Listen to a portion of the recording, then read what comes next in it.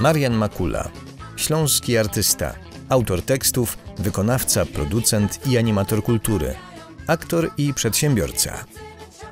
Makula ma na koncie teksty do przeszło 300 piosenek, kilkaset wierszy, felietonów, libretta, scenariusze, słuchowiska radiowe, książki. Jeden z najznamienitszych śląskich dziennikarzy, Michał Smolosz, nazywał go śląskim Wernychorą.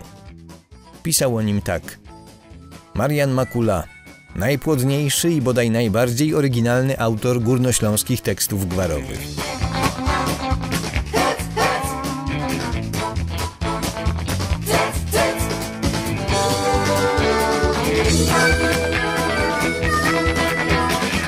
Makula był literackim filarem Starego Raka.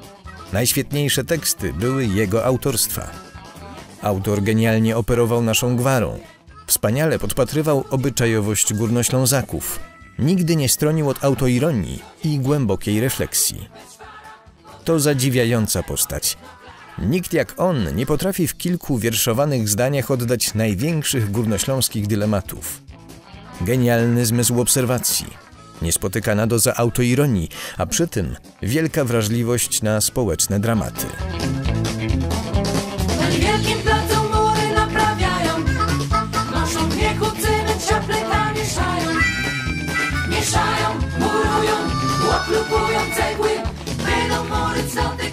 Światowej sławy reżyser Lech Majewski, u którego Makula zagrał kilka znaczących ról, mówi o nim: Czuję do Mariana respekt. Jak Marian coś powie, to ja posłusznie to wykonuję. Jest dla mnie niemal postacią mityczną. Jakbym robił ekranizację mitologii greckiej, zaraz obsadziłbym go jako Hefajstosa. Pieronie, no pozabijesz nos. To nie być tak strachliwy, chłopie. Ja mam na to paty. A? Co inne tyż moż. A w nocy z nudów to muszę żykać.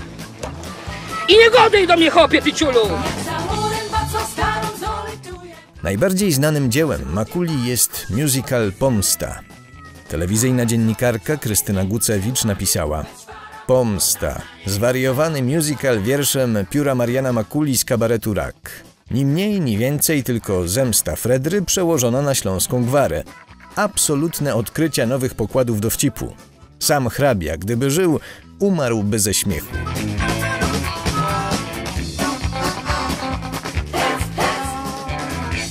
Popularny śląski artysta Krzysztof Respondek w Gazecie Wyborczej mówił o pomście. To jeden z najlepszych spektakli, w jakich zagrałem, jakie na oczy widziałem.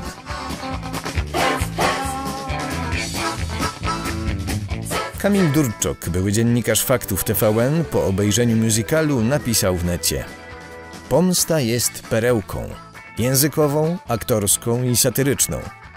To fantastyczna dawka znakomitego, chwilami niezwykle wyszukanego śląskiego humoru. Spektakl będący zaprzeczeniem stereotypu prymitywnego, ciężkiego śląskiego wica. A język używany na scenie, nawet dla wytrawnych znawców śląskiej gotki, bywa wyzwaniem. Gryfne to i warte obejrzenia.